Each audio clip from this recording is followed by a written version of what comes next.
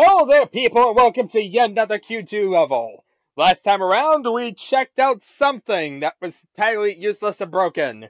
This time around, we're checking out Hell's Garden.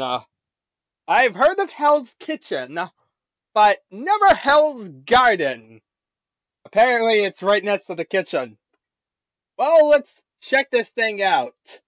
It's probably going to be green. It's probably going to be a maze. It's probably going to be terrible.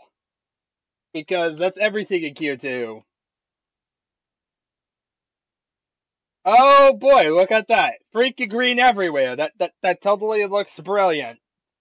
I, I feel motivated to play the level now. Hooray! It actually works! Th this is amazing. We actually have a level that works. Okay. So, uh,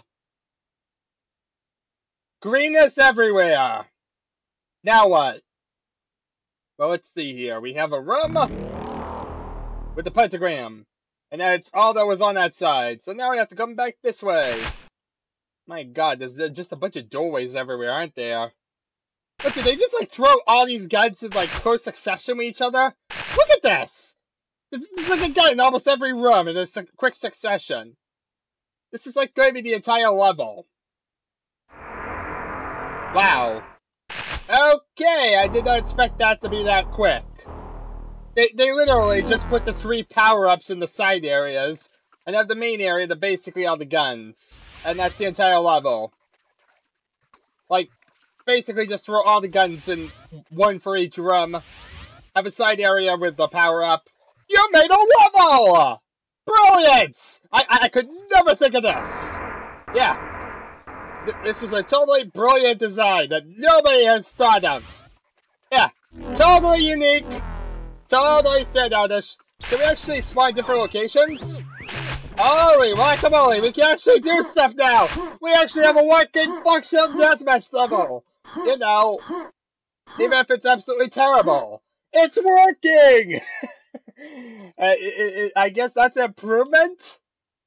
I'm not sure since nobody plays any of these anyway, but at least it works. That's something, right? Well, yeah. How's it going? So, yeah. it basically is another green level with a bunch of stuff randomly thrown about in tiny little rooms. Um, it's an improvement in some ways, specifically the fact that it actually works.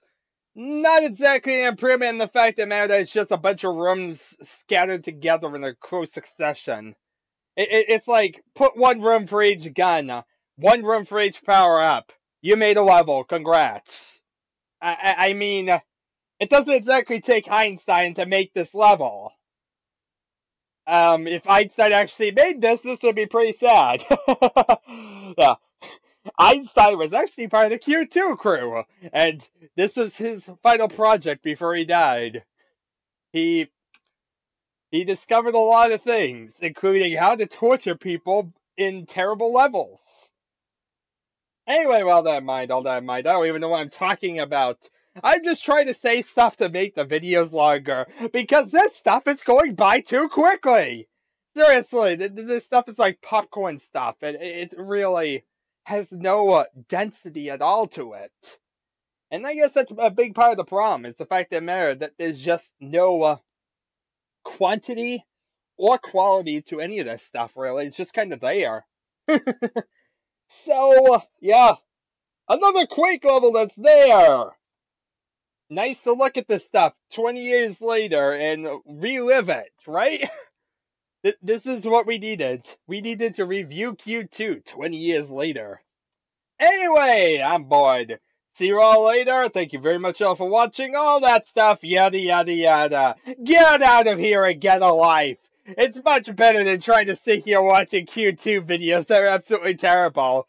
Don't be like me. I have to suffer. Don't you suffer.